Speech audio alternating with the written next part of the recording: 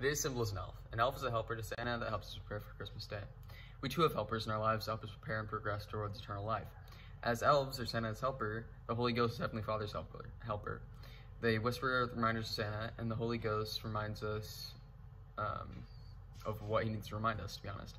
Uh, Thomas S. Monson, in a general conference in October 5th, 20, or 2002, in the performance of our responsibilities, I've learned that when we seek our head silent prompting and act upon it without delay, our Heavenly Father will guide our footsteps and bless our lives and the lives of others. I know of no experience more sweet or feelings more precious than the heat of prompting, only to discover that the Lord has answered through another's prayer through you. In the quote, the Holy Ghost gives us silent prompting and we act upon it. We later find out that someone else has been helped because of what we have acted upon, and a solution to their anguish has been answered through you, which is something that happens quite often. Um, I challenge you to listen to these promptings and remember what Christmas is really about and have a silent night. Speaking of a silent night, here's our musical number, Silent Night by David Archuleta and the Tabernacle Choir.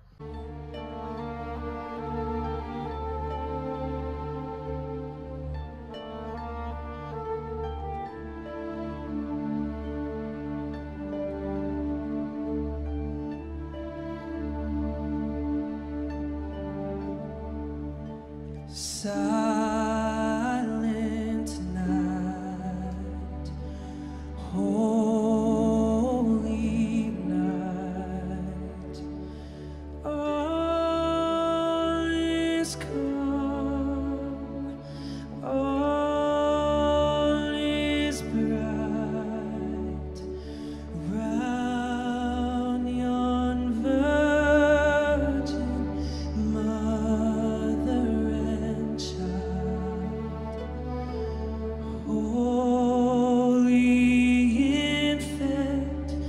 so tender